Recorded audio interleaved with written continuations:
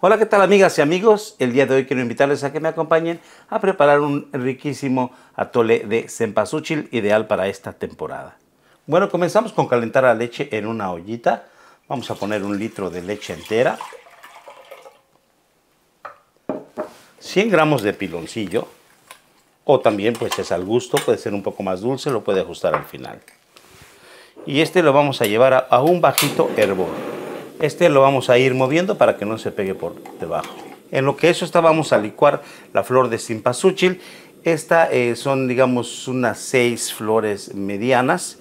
Eh, solo estamos utilizando la, el pétalo de esta misma. Le vamos a poner 250 mililitros de agua, 400 gramos de leche condensada, una lata de 350 mililitros de leche evaporada, dos cucharadas de extracto de vainilla y un cuarto de taza o cuatro cucharadas soperas de maicena. Esto lo vamos a licuar muy bien. Y ya que la leche está rompiendo un poquito en hervor, ya le podemos poner poquito a poco el licuado.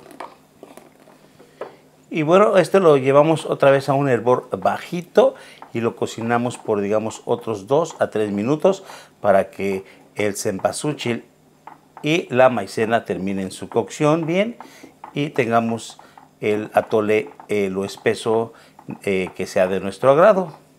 Y quiero aprovechar para invitarle a que se suscriba a este su canal, que active la campanita para que le podamos mandar notificaciones de nuestros nuevos videos.